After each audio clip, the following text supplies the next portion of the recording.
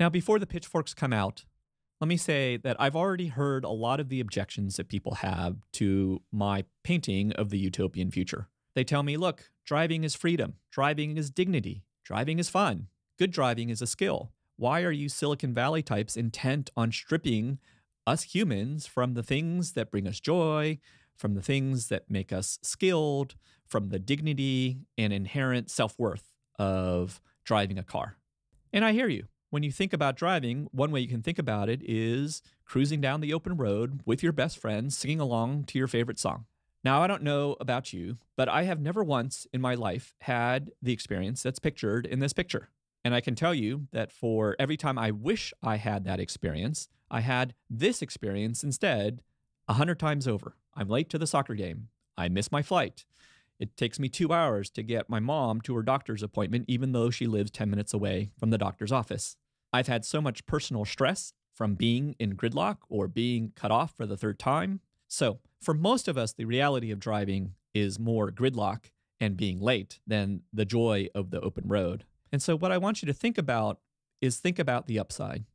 I want you to think about a world in which it's safer and greener and more convenient to get where you need to get the stuff where you need. And all of that could come for a half or a third of the price that you're paying to do it today without you having to sit in any traffic. So the big question is when? When will all of this happen? Are we five years away? Are we 50 years away? Are we 100 years away from this? Probably the most aggressive of the analysts out there is a nonprofit organization called Rethink X, run by a guy named Tony Seba.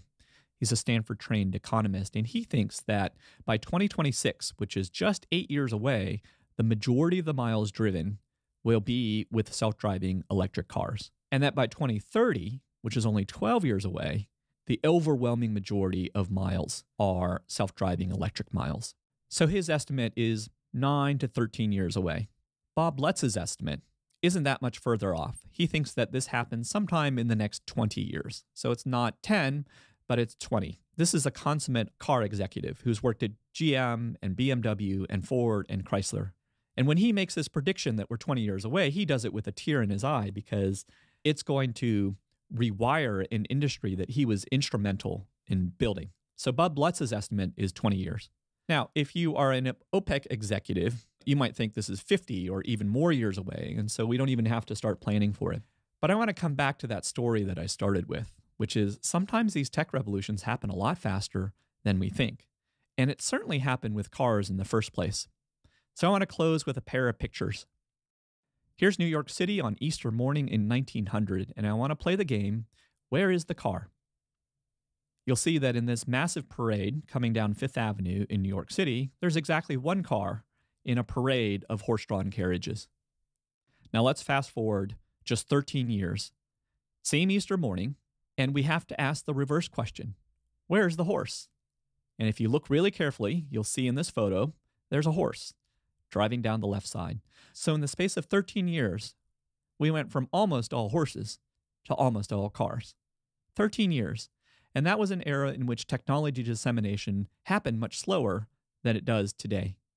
So my bet is on faster rather than slower. And if that's the case, then we all need to be engaged in a conversation around how we want to produce our energy, how we want our cities to look, how we want our shopping infrastructures to operate.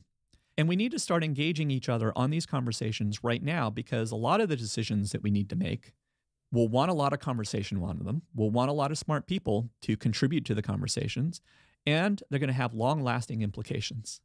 So let's get together, start having those conversations, and plan our way to this self driving electric future.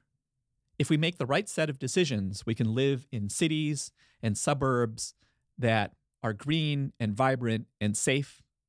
But it's not a foregone conclusion. We all need to work together carefully and smartly so that the right set of decisions get made as we head into this future.